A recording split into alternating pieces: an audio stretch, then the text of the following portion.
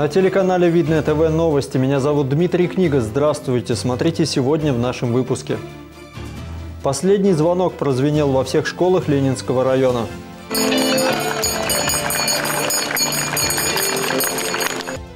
Представители бизнес-сообщества отметили День предпринимателя. У вас очень хороший диалог бизнеса и власти. В Доме культуры прошел итоговый турнир интеллектуальной игры «Думай, знай, познавай». Я уверена, что моя команда готова к сегодняшней игре.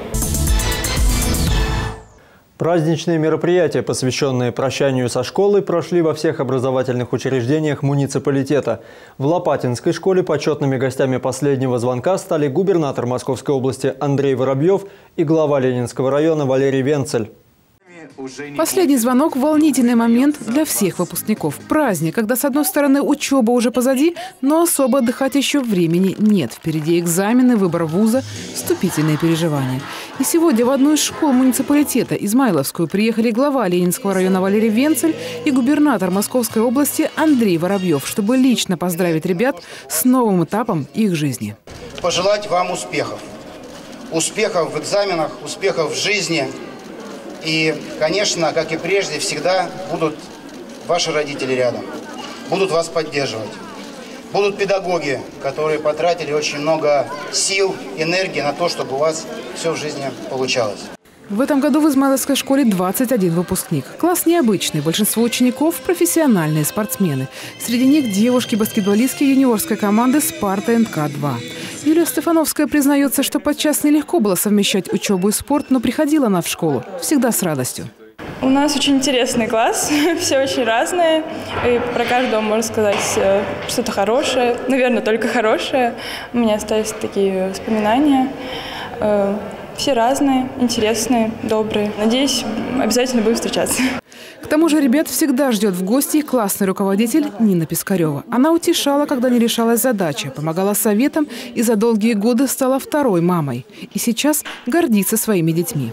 Хотелось бы пожелать всем ребятам, всем выпускникам, чтобы они не боялись трудностей во взрослой жизни, чтобы они широко расправили свои крылья и я желаю им только, чтобы их крылья поднимались все время выше. Для всех ребят двери нашей школы открыты. В этот день звучало много добрых слов дорогим учителям. Именно для них выпускники сегодня танцевали вальс и пели песни. А после в небо по традиции выпустили белоснежных голубей. И, пожалуй, самый трогательный момент. На плече у одиннадцатиклассника первоклашка дает последний звонок.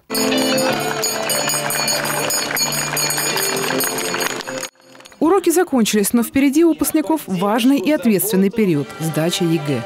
Первый уже совсем скоро, 27 мая. Екатерина Коваленко, Александр Логинов, Ольга Садовская. Видное ТВ. В течение всего дня в разных школах звенели последние звонки для выпускников. Девятая школа города Видное стала одной из первых, где началось праздничное мероприятие. Выпускники показывали свои таланты на сцене, сажали деревья, отпускали в небо голубей и воздушные шары. Благодарили учителей и родителей. Это торжественное для ребят событие увидела и наша съемочная группа. В этом году у Видновской школы номер 9 10 юбилейный выпуск.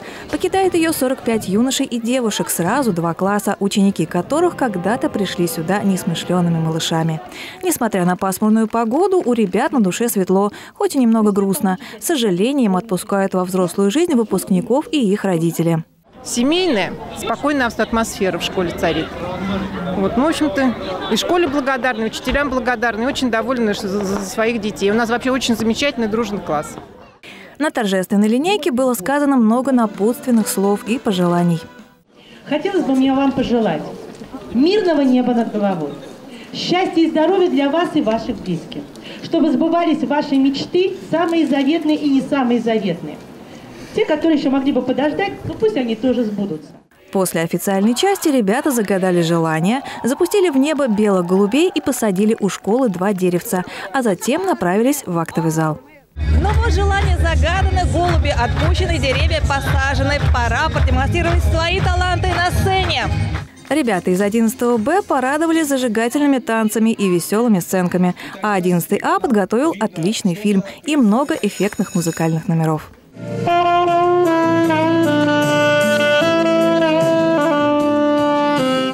Учитель биологии Юлия Москаленко взяла ребят под свое крыло еще в пятом классе. Она очень гордится своими учениками, среди которых два претендента на медаль. Ребята у меня очень замечательные. Мне, конечно, безумно тяжело с ними вот расставаться. И, конечно, я их всегда рада видеть. Я очень за них переживаю, за их дальнейшую, дальнейшую судьбу. Но я верю, что они мне такие замечательные, что у них обязательно всю жизнь не получится. Ребятам тоже тяжело расставаться друг с другом и со школой, ставшей для них вторым домом. В одиннадцатом классе мы стали еще больше сплоченные. Это сто процентов, потому что у нас появился общий враг. Это ЕГЭ. Вот. А я скажу, что он самый лучший, и и вам не совру. Я в этой школе с первого класса. Я помню, как она открывалась, как мой одноклассник разрезал ленточку, как я пришла вот в эту школу. Я просто по ней ходила и думала, господи, ну такая огромная, такая красивая, тут столько всего будет. Куча воспоминаний из школьных дней, просто столько эмоций, впечатлений. Лиза прощается с любимой девятой школы ненадолго, так как планирует поступать в педагогический, чтобы стать учителем младших классов. Практически все ребята уже определились с профессией, и у многих из них довольно амбициозные планы. Постараюсь с инженерией связать свою жизнь, а также буду баллотироваться в депутаты. А пока ребятам предстоят серьезные испытания сдачи ЕГЭ и поступления в выбранные учебные заведения. Екатерина Борисова, Александр Будников, Сергей Ларин, Видное ТВ. 26 мая свой профессиональный праздник отмечают самые деловые люди России – предприниматели. Второй год подряд представители бизнес-сообщества Ленинского района собираются вместе, чтобы отметить этот день, пообщаться и отдохнуть в кругу единомышленников. На празднике в адрес Ленинского отделения торгово-промышленной палаты звучали слова поздравлений. Многие получили почетные грамоты, а сама палата пополнилась новыми членами. Татьяна Брылова продолжит. 32 года назад начался процесс, который дал старт всему российскому бизнес-сообществу. Организаторы Дня предпринимателя в Ленинском районе сопоставили это число с количеством фигур на шахматной доске. Да и весь праздник был так или иначе связан с этой увлекательной игрой. А если подумать, шахматы и бизнес очень связаны. Предпринимателям, как и шахматистам, присуще стратегическое мышление, тактика, все, что помогает одержать победу. У каждого по-разному складывались первые шаги в бизнесе, а сегодня многие имеют не только надежное дело, но и уважение среди коллег. Год назад предприниматели Ленинского района решили объединиться, создав отделение торгово-промышленной палаты. Приглашая в палату предпринимателей, э, они получают э, возможность общения э, между, между собой. А самый главный момент – это торгово-промышленная палата выступает площадкой для диалога между бизнесом и властью. Мы, в общем-то, решаем вопросы и помогаем предпринимателям в решении их проблем и вопросов. Игорь Куимов, президент Торгово-промышленной палаты Московской области, поздравил виновников торжества с праздником и вручил ряду представителей бизнес-элиты района дипломы за большой личный вклад в развитие предпринимательства. Андрей Александрович Ковалев, руководитель отделения ВТБ банка.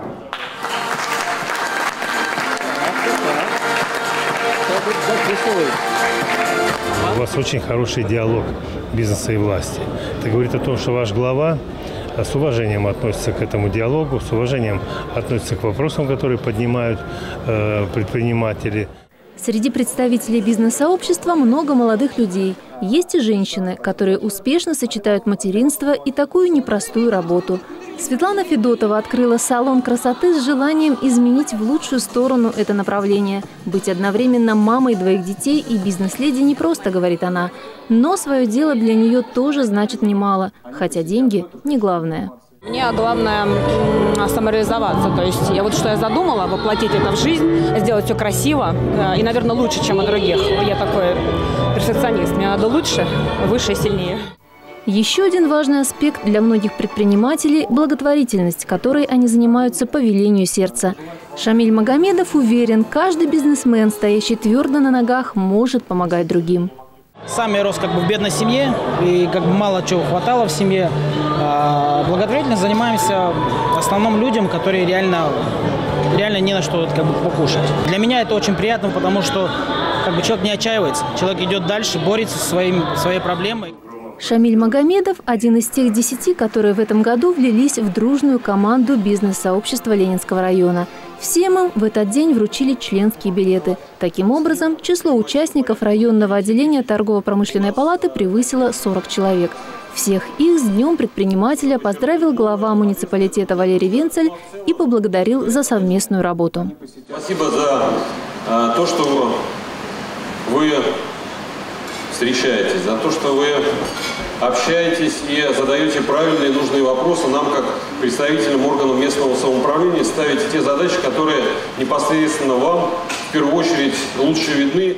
Валерий Николаевич пообещал, что и впредь местная власть будет прислушиваться к людям бизнеса и по возможности помогать. В знак этого плодотворного взаимодействия все участники праздника сделали на память общее фото. Татьяна Брылова, Александр Будников, Сергей Ларин. Видное ТВ. 15 апреля состоялся переход на цифровое вещание федеральных телеканалов. Волонтеры и специалисты помогают в настройке телевизионных приставок тем, кому это необходимо. Подробнее в нашем сюжете. Уже почти полтора месяца, как Московская область перешла на цифровое телевизионное вещание. Однако у некоторых жителей до сих пор остались проблемы с приемкой цифрового сигнала. Именно поэтому на помощь им приходят волонтеры, которые помогают настроить новое оборудование. Галина Федоровна Картахова проживает в 18-м доме поселка подсобного хозяйства Суханова. Когда вся область перешла на новый формат вещания, пенсионерка отдыхала в санатории. Вернувшись, она поняла, что сама не в силах разобраться с нововведениями. Я пошла в соцзащиту. Говорю, надо там выяснить, потому что говорили, что э, если что, обращайтесь в соцзащиту. Ну, я сходила, там мне Сказали, говорит, хорошо, придем, пришлем мастера. Он придет, посмотрит, наладит. Уже через несколько дней инженер связи антенной службы Видновской дирекции киносети вместе с активистом местного отделения партии «Единая Россия» были дома у Галины Федоровны. Сама процедура установки телевизионной приставки заняла всего несколько минут.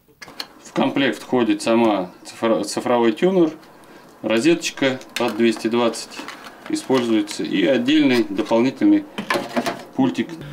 Самый сложный процесс подключения – это незнание именно той технической части, которая именно нужна была для того населения, которое никогда не сталкивалось э, с, именно с этими процессами подключения. В рамках партийного проекта «Старшее поколение» «Единая Россия» проводит региональную акцию «Цифровое телевидение».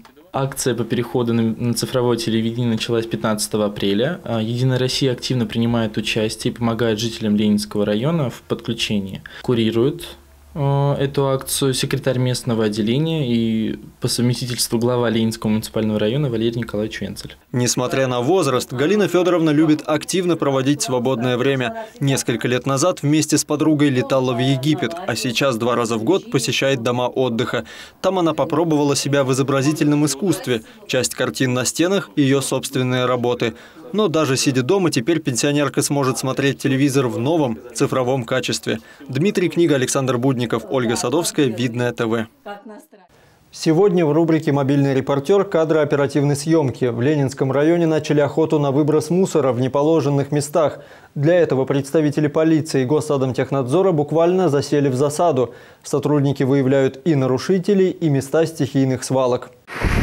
На территории Ленинского района вот можно встретить вот такие вот кучи мусора, несанкционированная свалка. Такая картина, к сожалению, типична для всех муниципалитетов региона. Мусор высыпают в лесах и на обочине дорог. Так, в рамках профилактической операции «Засада» наряд дорожно-патрульной службы зафиксировал несанкционированный выброс грунта недалеко от поселка Мещерина. Здравствуйте. На камеру можете пояснить, за что вас задержали? Сейчас он хозяин приедет, он все объясняет. При проверке водителя было установлено, что данный гражданин был лишен прав управления автотранспортом.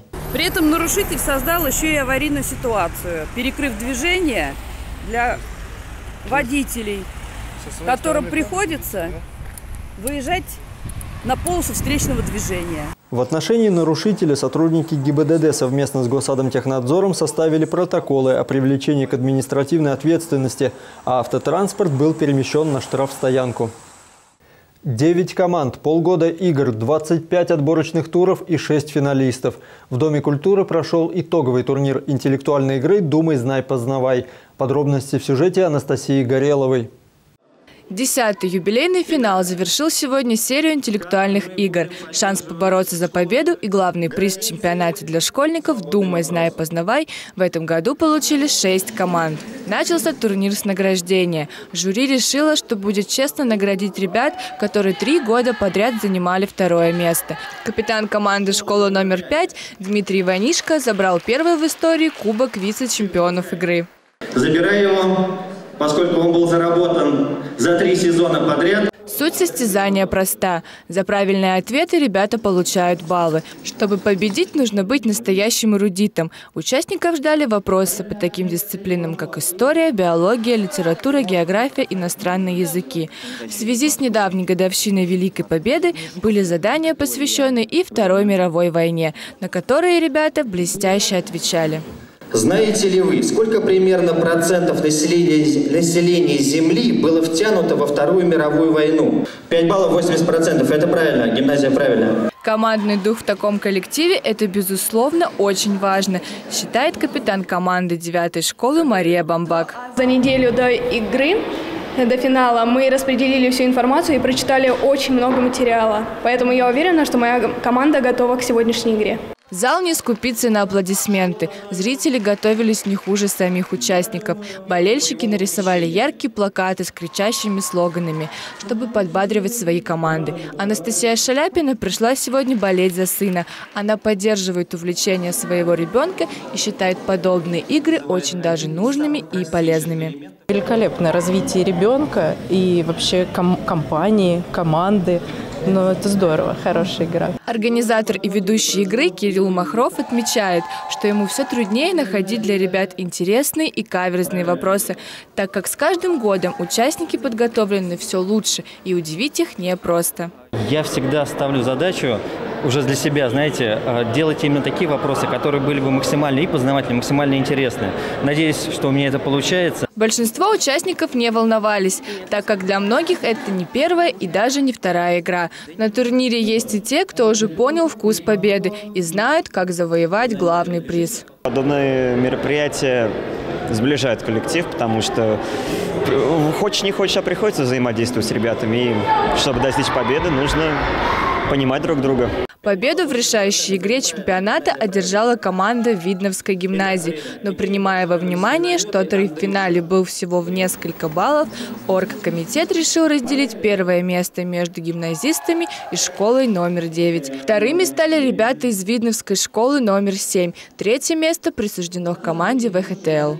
Анастасия Горелова, Александр Будников, Ольга Садовская, Видное ТВ. И о погоде. В субботу ожидается небольшой дождь. Воздух прогреется до 21 градуса тепла. Ночью будет плюс 15, ветер южный 4 метра в секунду. На этом все. Желаю вам хорошо провести выходные дни. Увидимся.